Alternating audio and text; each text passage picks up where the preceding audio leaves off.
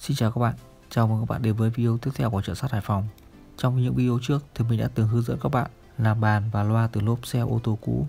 Và trong video này thì mình sẽ hướng dẫn các bạn cách làm biển quảng cáo ngoài trời, sử dụng lốp xe ô tô cũ. Và để thực hiện thì bạn cần chuẩn bị đó là lốp xe ô tô cũ và hai tấm mica. Bạn cần đo kích thước đường kính phía trong của lốp xe, sau đó thì bạn sẽ đi cắt CNC đúng với kích thước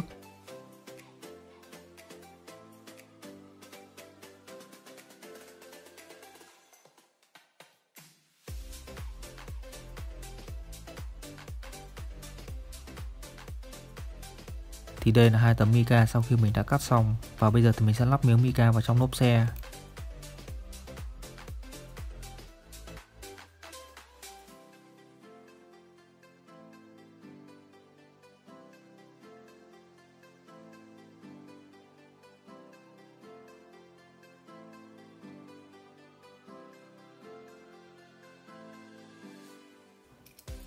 Mình sẽ sử dụng vít để bắt vào lốp xe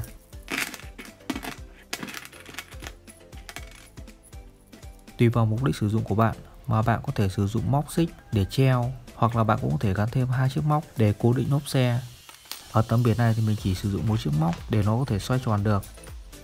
Và bây giờ thì mình sẽ bắt vít vào. Vì mica khá giòn và dễ bị vỡ, để đảm bảo thì mình sẽ khoan trước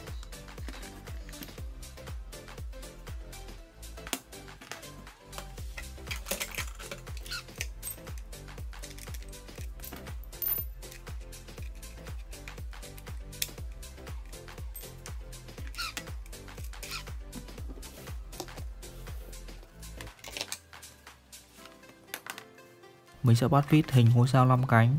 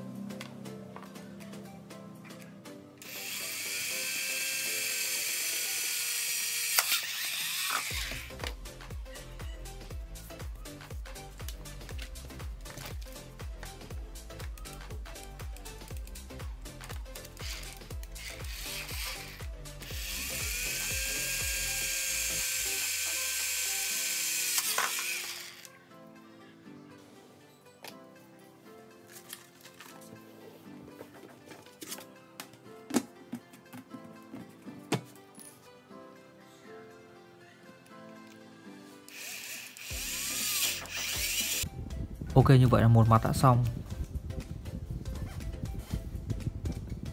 Và bây giờ thì mình sẽ gắn móc vào để treo. Bạn có thể sử dụng hai chiếc móc để treo cố định.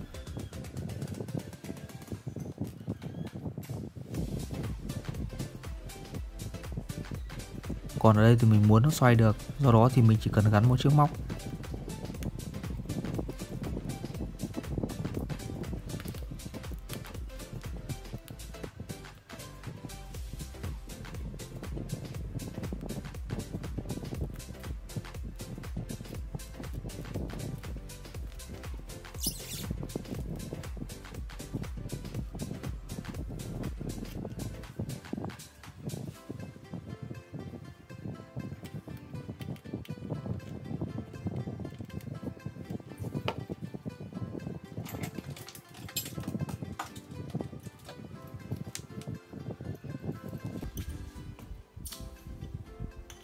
Ok, như vậy là xong.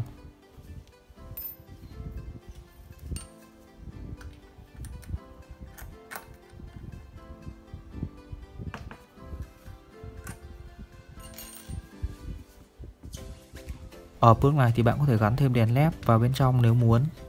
Còn chiếc biển này thì mình treo ngoài trời, Không có điện, do đó thì mình không sử dụng đèn led. Và bây giờ thì mình sẽ vít ốc vào mặt mica còn lại.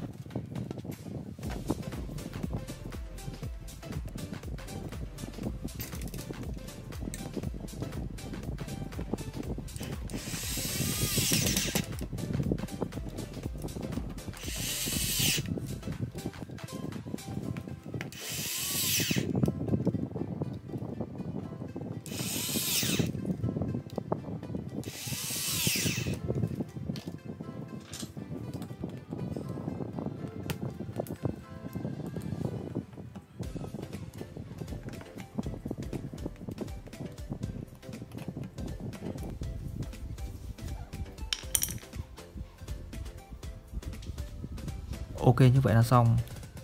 Mình sẽ bóc lớp giấy xi măng, Bảo vệ mica bên ngoài ra.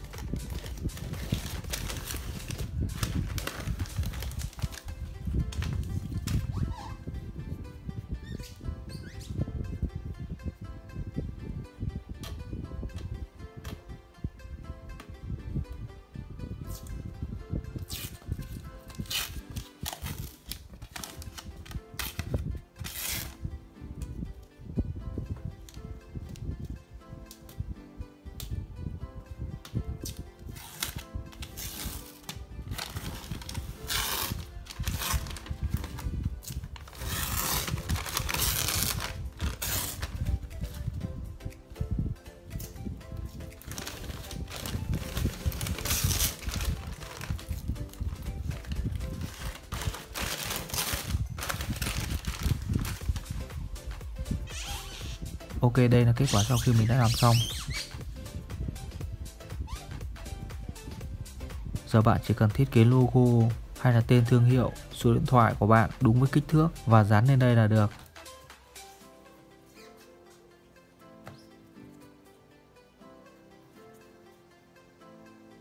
Vậy là mình đã hướng dẫn các bạn làm một chiếc biển quảng cáo từ lốp xe rất là độc đáo. Các bạn có thể đặt hàng bên mình, làm theo yêu cầu nếu muốn. Thông tin về sản phẩm thì các bạn có thể xem trong link mình đặt trong phần mô tả của video. Cảm ơn các bạn đã theo dõi. Xin chào và hẹn gặp lại các bạn.